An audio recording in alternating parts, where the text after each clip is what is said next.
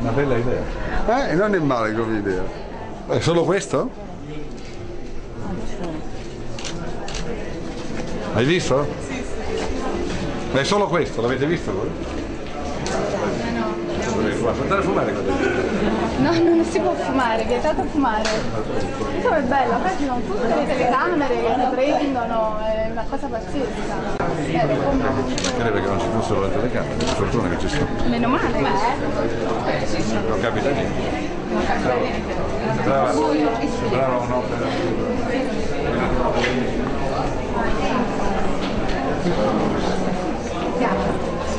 Con gli artisti, in realtà la persona...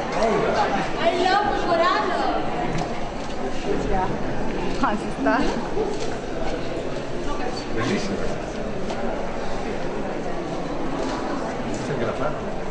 I love Gianni Morale, Vittorio. Gianni Morandi? Ah, Gianni Morandi. Come stai? Eccolo là. Come stai? Ma infatti togliamo mutandina. Ok. Togliere le mutandine. Eh, sto togliendo. È una buona idea. Magari si tuffa.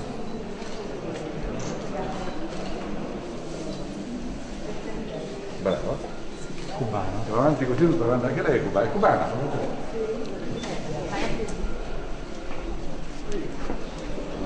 Quanto dura? Quando riesce due ore, tre ore.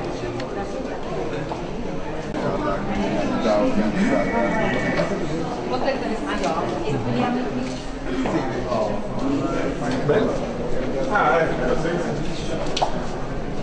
Scritte con il fondo nero sono le testimonianze negative. Questo sembra un libro spadenato. Eh, Ma lo è, lo è, eccolo qua. Eh, lo è. Il libro è qua. Quindi l'opera è inutile. Basta il libro.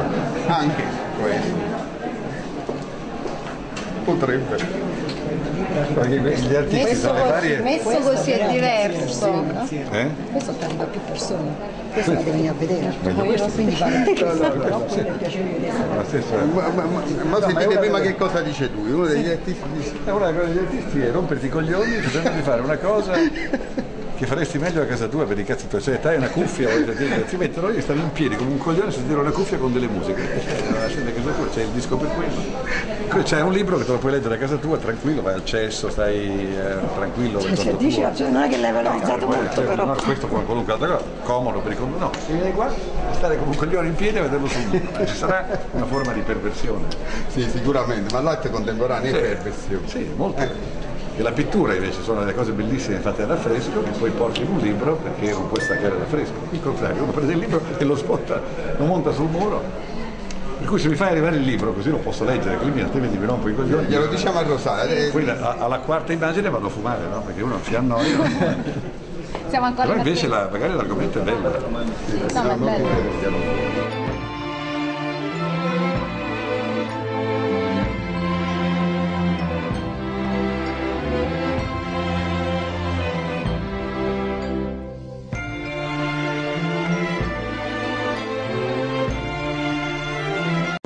Calanda che ha tagliato i fondi al Festival di Roma del 40% per spostarli a Venezia, che cos'è? Ha fatto bene. Perché? Il Festival di Venezia è più che sufficiente, non c'è il Festival di Pesce, quello di Cannes, non che l'Italia deve avere due festival per la vanagloria di Veltroni, per fare delle proiezioni di film. Non capisco, cioè non so se abbia fatto bene o male perché non conosco il merito, ma nel principio che Venezia sia più importante, basti a se stessa, abbiamo il- lo il schema che semplice. Calanda però è Veneto, questo non ci lascia Vabbè, ma, poco- ma Venezia, ma Venezia c'era nel 1937, quindi voglio dire, non è che esiste un festival di Parigi, esiste quello di Cannes. Allora, non è che dobbiamo spendere per forza un doppione di soldi perché Roma abbia il suo festival. Può darsi che sia utile al cinema e va benissimo, Il- i fondi possono essere integrati anche, però sia chiaro che la visione di fare la Biennale di Venezia solo a Venezia, il Festival del Cinema solo a Venezia, serve a concentrare fondi da una parte invece che un'altra, perché le cose hanno la loro storia. Allora io dico semplicemente che non conosco le ragioni, neanche mi piace Galan, non è, però non è che vedo che il Festival di Roma da due anni o da tre anni o da quattro anni, quando c'è, debba essere guardato come qualcosa che ci deve essere per forza. Per cui in linea generale non lo trovo una ragione per fare una polemica con Galà. Altre sono le ragioni per polemizzare con lui, ma questa non mi sembra, perlomeno questa è una di quelle su cui io non ho nulla da... Se uno deve tagliare, meglio tagliare Roma che tagliare Venezia. Se no, poi non si, si può non tagliare niente, meglio non tagliare niente ovviamente, ma non è che in sé dobbiamo stracciarci le vesti perché Roma ha meno opportunità di una volta. Capita, capita tante cose della vita. La scelta di Casoria come location è contro le mafie del mercato? Ma Casoria è intanto la, la straordinaria qualità umana e di visione dell'amico Manfredi. Io conosco bene anche Cicerin ovviamente, quindi non è che eh, voglio con questo contrapporlo, ma appunto intendo dire che nell'uno c'è curiosità e nell'altro c'è dogma. Non so su quali basi uno debba ritenere che la sua è una verità che è soltanto quello che il mercato ha stabilito. Allora, fuggire da ogni mercato e osservare la realtà anche delle sue imprese meno istituzionali nel mondo dell'arte mi sembra già una ragione di pregio per cui io apprezzo l'impresa di Manfredi. E conosco tra l'altro il museo perché ci sono venuto, l'ho visitato, quindi mi è sembrato uno spazio gli ho detto io potremmo usare il tuo, l'ho fatto perché la regione che era il mio partner, non dico scelto da me, ma naturale, evocato e compiaciuto perché la Miraglia è venuta da me almeno dieci volte con la piena adesione a questo progetto. Se poi questi qui non sono in grado di mantenere quello che promettono, certo non, non trovano in me uno tenero, ma la polemica alla fine nata dal cattivo comportamento della Miraglia o di Ciccelin ha determinato un effetto positivo che è di essere venuti a Casoria, tra l'altro ne avevo anche scritto anni fa sul giornale Oggi e questo spazio che era nato bene continua meglio, per cui Casoria è stata una scelta inevitabile, talmente inevitabile che eh, io mi ero dimenticato che dopo le liti per il Madre e per il PAN, che erano le due sedi offertomi dalla Miraglia, poi alla fine decadute per ragioni che io non ho neanche voluto negare, mi sono girate le palle e basta, mi sono dimenticato che il Ministero, attraverso i sovrintendenti Mocchi Onori e Spinosa, mi avevano offerto Castel Sant'Elmo, perché a quel punto ero talmente irritato con l'amministrazione pubblica che ho eliminato Napoli e mi sono spostato su Ponte Cagnano e su Casoria.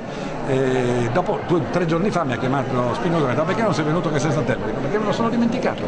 Ho, ho messo tutta Napoli nel pacchetto di una esperienza negativa non solo che esiste per quello che ne vediamo in televisione, ma che diventa negativa non per ciò che il male e la mafia e la camorra fanno a Napoli, ma per la neghitosità e l'inadempienza e l'incapacità dei suoi amministratori, perché puoi anche avere un'avventura negativa, ma avere almeno lo slancio di fare qualcosa. Questi non hanno neanche i coglioni, cioè non solo patiscono la violenza del male, ma non hanno nessuno slancio verso il bene, sono dei morti.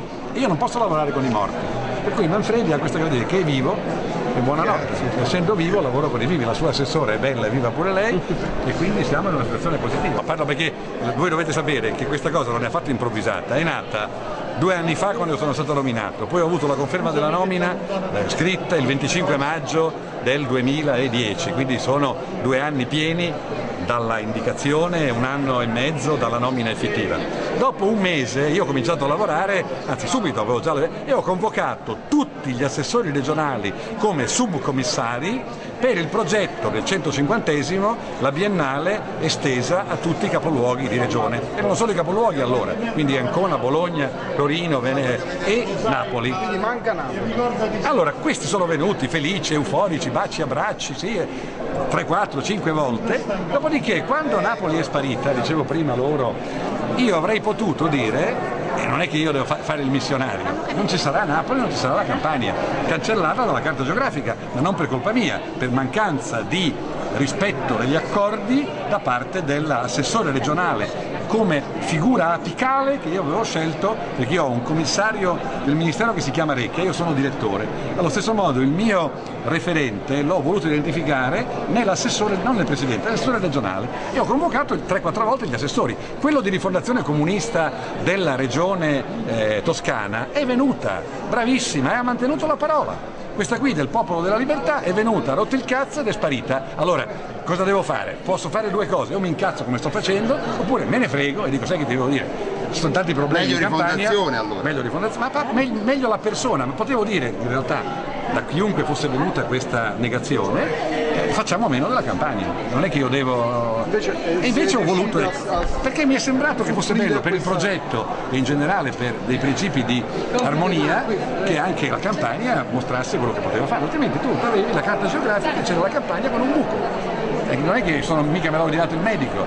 Allora, aver trovato loro significa interpretare come io interpreto i miei ruoli, come sempre ho fatto, in modo molto attivo e rimanere un po' stupito che ci siano istituzioni che invece stanno ferme. Però se uno dovesse dire, siccome tu sei mio, eh, dire, la mia interfaccia e tu devi gestire l'idea che abbiamo condiviso, quando questa si ritira io potevo dire basta, lasciamo perdere. Quindi ecco, questo lo volevo dire perché sono molto felice di come loro si sono comportati, perché tutti insieme abbiamo creduto a una cosa per evitare la bizzarria di una regione mancante. L'unica provincia che manca, ma non regione, è quella di quel barbaro di Durwalder, che è il presidente della provincia di Bolzano, perché lì la regione è fatta di due province, il quale non crede di essere italiano, dico vaffanculo, non fai l'italiano e ho rinunciato a Bolzano. Tanto lì sono una regione Trentino Alto Adige che è fatta di due province, quindi faccio a Trento invece. Però dico, ci sono de- delle teste di cazzo, ci sono dei morti e delle teste di cazzo. Teste di cazzo vanno trattate come si meritano, ma i morti, quei morti non, non puoi scopare un morto, no? Ok, grazie.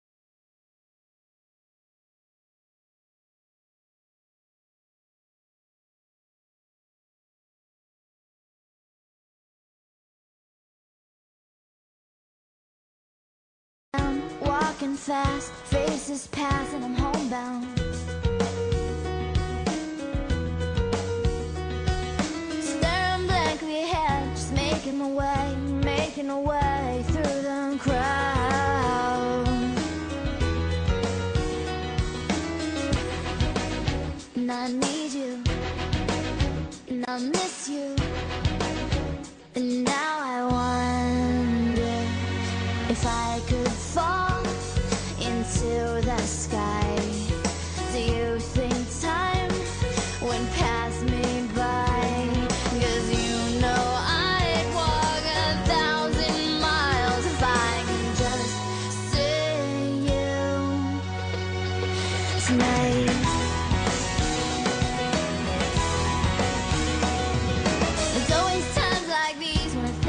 of you and I wonder if you ever think of me. 'Cause everything's so wrong and I don't belong living in your precious memory.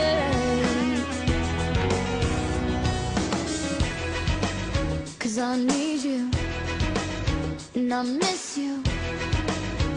Now